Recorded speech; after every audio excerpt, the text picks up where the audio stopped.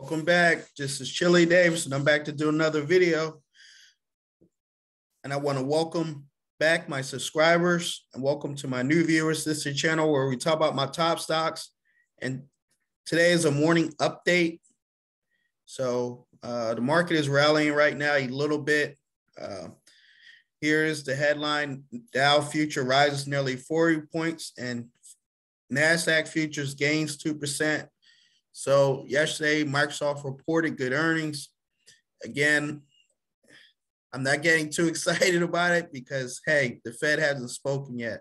But right now, the market is up. Uh, the market hasn't opened yet. We're about uh, 20 minutes from the market opening, and uh, things are looking good. Just a quick check on Robinhood. Robinhood in this morning is up 3.14%. So that's fantastic. If you just look at the, the lines, arrows are pointing straight up.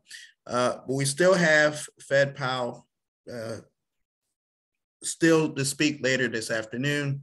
So that's where the market is at, up three point something percent in the early market. Also, we take a quick look at my other portfolio. We're up as well, 2.98%. A lot of this is optimism. You know, is temporary. So we just have to get the real numbers.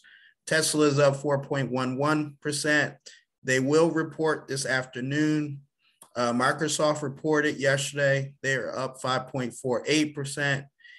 And Ford is up 5.51%. So that's the news. Uh, this portfolio up 2.98% and Robinhood up 3%. So I want to thank you for watching. Thank you for listening. Please like, share, if you like some free stock, please use my Robinhood link below.